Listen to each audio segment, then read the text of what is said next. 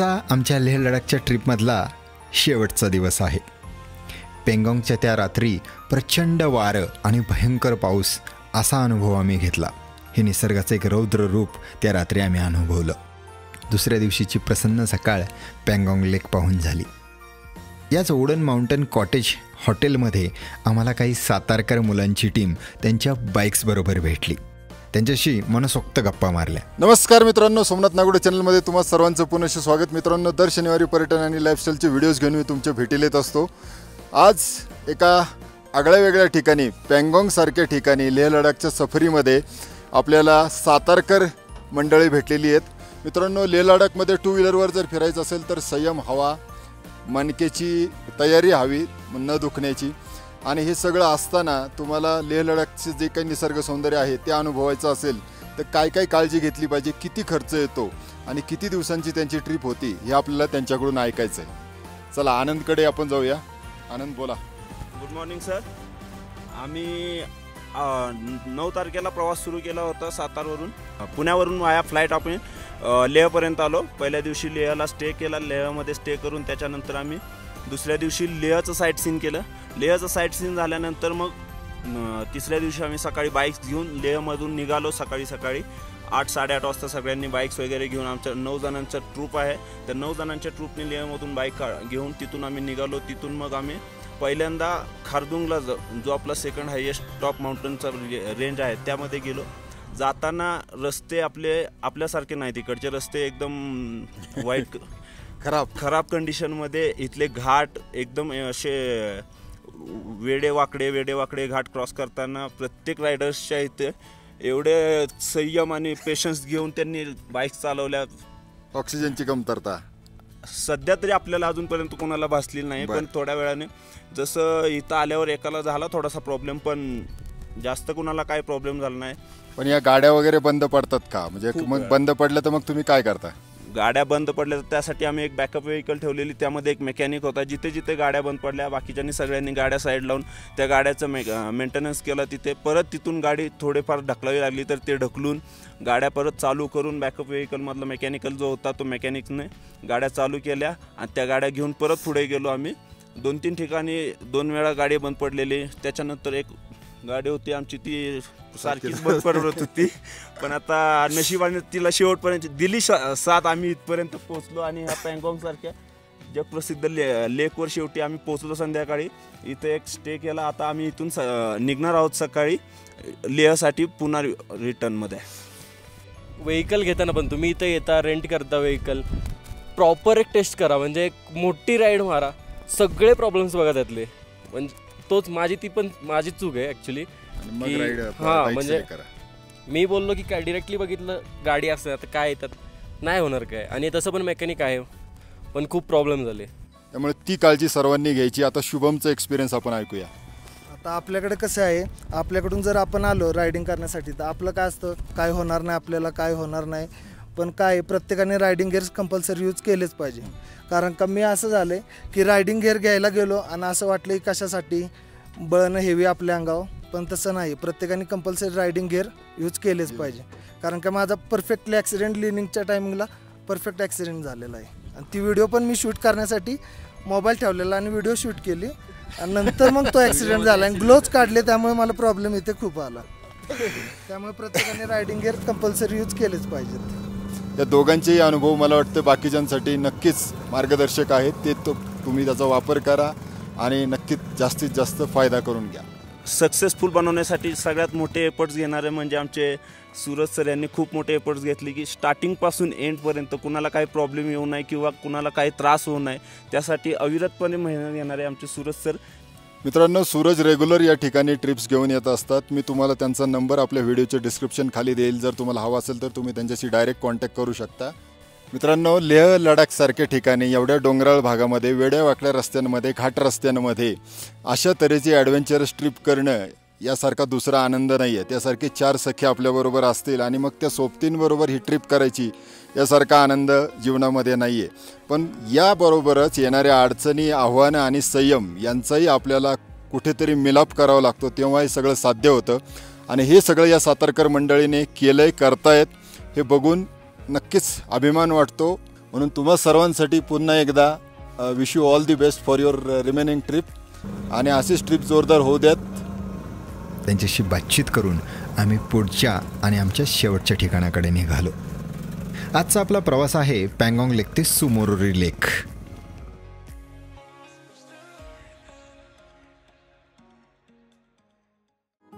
या रस्त्यावर सुंदर सुंदर लँडस्केप पाहतच आम्ही पुढे जात होतो.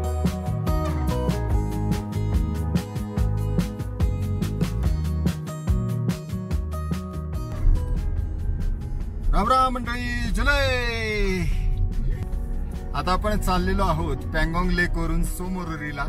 प्रॉब्लेम म्हणजे अनफॉर्च्युनेटली आपल्या आमच्या बरोबरचं दुसरं कुटुंब होतं. दोन इनोवा होत्या. त्यातल्या एक कुटुंबामध्ये आता मेडिकल इश्यूजमुळे ते आमच्या बरोबर येऊ शकत नाहीत म्हणून आता आम्ही एकटेच आहोत. आमची सिंगल इनोवा आहे आणि आम्ही आता चालणार चाललेलो आहोत सोमोरोरीला. सोमोरोरीला जाण्यासाठी आम्हाला चांगला पास मार्गे जायचंय. साधारण दहा तासांचा रस्ता आहे. कितना किलोमीटर आहे? आ, यहाँ से पेंगोंग से सोमोरोरी कितना किलोमीटर आएगा?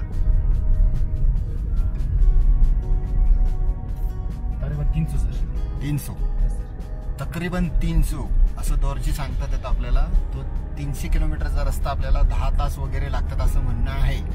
परंतु रस्ता आहे तो खूप खराब आहे. त्यामुळे आजचा दिवस पूर्ण प्रवासात जाणार आहे. फार काही व्हिज्युअल्स मिळतील असं वाटत नाही. सो चला करूया प्रवास आणि पाहूया सोमोरोरी गाव कसं आहे ते लिहायला लागणार यानंतरचा आपला प्रवास चांगला नदीच्या साथीने सुरू होतो. हे नदीपात्र बऱ्यापैकी मोठे आहे. या नदीपात्रात खूप छोटी छोटी छान छान फुलं आम्हाला दिसली. नदीपात्रात खूप सारे याकही चरत होते. आजच्या प्रवासातला काही रस्ता सोडला तर बाकीचा खूप सारा रस्ता हा खराब आहे असं द्वारजीकडून आम्हाला कळलं. मित्रांनो स्नोफॉल झालेला आहे. हे बघा. मस्त बर्फाच्छादित शिखरं आहेत मागच्या बाजूला आणि इकडे स्नो पडलेला आहे. रात्री थंडी पाऊस प्रचंड गारवारा. पँगॉंगने सगळे अनुभव दिलेले आहेत. मस्त स्नोफॉल पाहायला मिळालाय. आम्ही आता पँगॉंग वरून निघालोय सोमरोरीला काही वेळातच आम्ही पोहोचलो ते चांगला पासला. मित्रांनो आता आपण आहोत चांगला पासला. मस्त बर्फाच्छादित शिखरं आहेत या ठिकाणी. आणि चांगला पास सुद्धा खारदुंगला पास नंतर सर्वात हाईटला असणारा एक पास आहे. तिरंगा या ठिकाणी फडकतोय. आणि तो तिरंगा फडकत असताना त्याला सॅल्यूट करून आम्ही पंधरा ऑगस्टला साजरा केलाय. मागच्या बाजूला मस्त बर्फाचं ग्लेशियर आहे. तुम्ही पाहिलं असेल तर खूप सुंदर बर्फाच्छादित शिखरं आहेत. आणि चांगला पासला या ज्या पताका आहेत त्या पताकांनी या ठिकाणचं वातावरण एकदम मोहरून गेलंय. मस्त वातावरण चांगला पास मग आम्हीही त्या ठिकाणी जाऊन आर्मीच्या सैनिकांबरोबर फोटोग्राफी केली. चांगला पास हा खरं तर खारदुंगला पास नंतर हायेस्ट अल्टिट्यूडवरती असणारा एक पास होता. काही अंतर कापल्यानंतर आपण मनाली ते लेह या रस्त्यावरून पुढे जात असतो. काही काळ अंतर गेल्यानंतर हा रस्ता सुमोरोरीकडे वळतो. मात्र चांगला पास नंतर मात्र खूप खराब रस्ता सुरू होतो.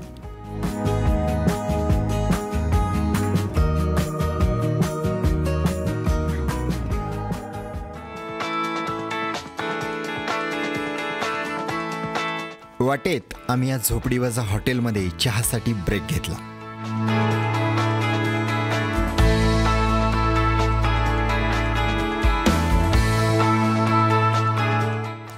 तासांच्या थकवणाऱ्या प्रवासानंतर सुमोरुरी लेखला पोहोचण्याआधीच आम्हाला एक सुंदर असं लेख रस्त्यावरून दुरूनच दिसलं.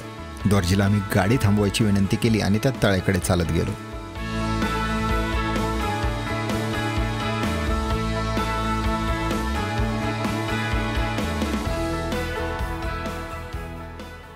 खूप थंडी आणि खूप वारा सुटला. आम्ही आज चाललेलो आहोत एका वेगळ्या लेकला.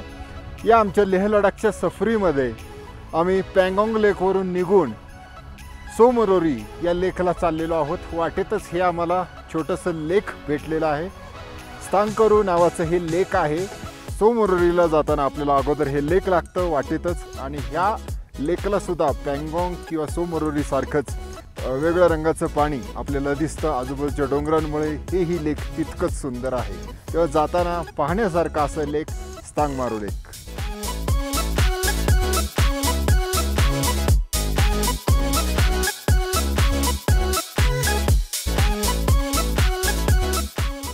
आम्ही बराच वेळ या लेकवर टाइमपास केला. सुंदर असं वातावरण आणि डोंगरांमध्ये लपलेलं हे छोटंसं लेकही अगदी मनामध्ये घर करून बसलं.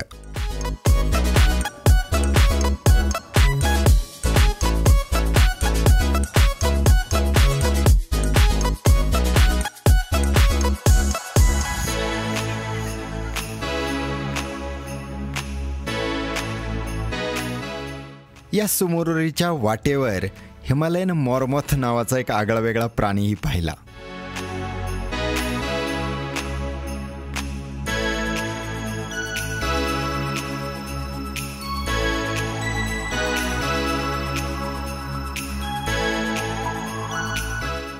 पुढे प्रवास सुरू केला आणि काही वेळातच आम्हाला सुमोरुरी लेक आणि गाव दिसू लागलं.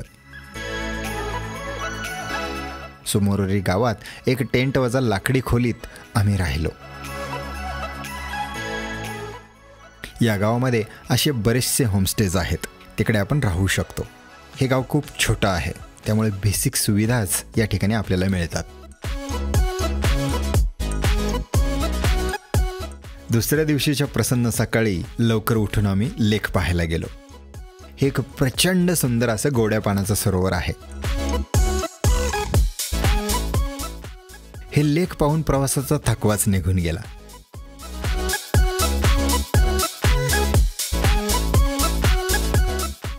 द्वारजीने आम्हाला सांगितल्याप्रमाणे थ्री इडियट्स या सिनेमाचं शूटिंग याच तळ्यावर सुरुवातीला होणार होतं. परंतु अधिक पैशांची मागणी केल्यामुळे हे शूटिंग पँगॉंग लेकला झालं आणि त्याचं नशीबच बदललं. हे ऐकून आम्हालाही आश्चर्य वाटलं. सहसा लेहच्या सहलीमध्ये हे सरोवर पाहायला कोणी येत नाही. त्यासाठी कारण म्हणजे यासाठी लागणारा वेळ आणि प्रचंड मोठा रस्ता. खराब असा रस्ता.